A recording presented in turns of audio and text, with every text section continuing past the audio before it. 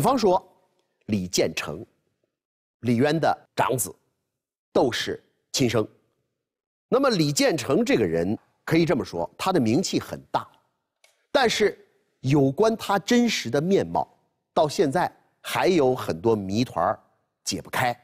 这个人他的形象，关键就在于后来啊，李世民当皇帝之后，在史料当中对他的事迹进行了很多的修改，以至于这个人的真实面貌到现在已经变得是可以说是。模糊不清，尤其是他的那些功劳，基本上都被抹杀掉。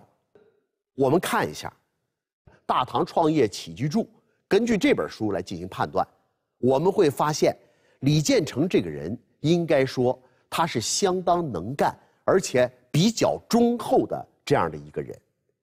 在还没有举兵的时候，他就被自己的父亲派出去，在河东等地区招纳壮士，积攒力量。这是一方面，另外一个，举兵了之后，他又是第一批投入到战场上的将领之一，有很大的这个军功。后来，他被立为太子，这也是理所应当的。第一，嫡长子身份；第二，的确立了很多的功劳。他后来呀，功劳的确被自己的弟弟李世民给超越了。那主要是什么缘故呢？不是他无能。而是因为他身为太子，安全第一，不能再派他到战场上去拼命，所以逐渐的导致李世民的功勋就超过了他。但是不管怎么样，我们必须得说，没有李建成，这个开国的战争能不能胜利，这是很难说的。啊，有关他的事迹啊，我们后面还会说到。我们这里头只列举一下。这个《大唐创业起居注》里边有一段关于他和李世民的这个评价，我们来看看是怎么说的。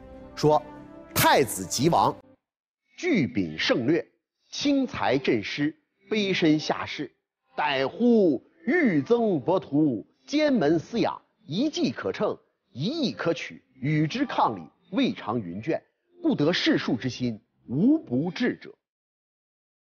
这段评价，我认为是比较公允的。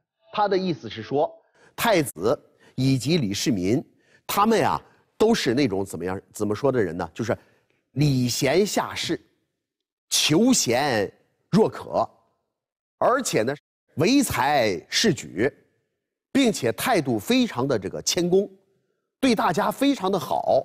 所以呢，他们两个人都非常的得民心，得士心。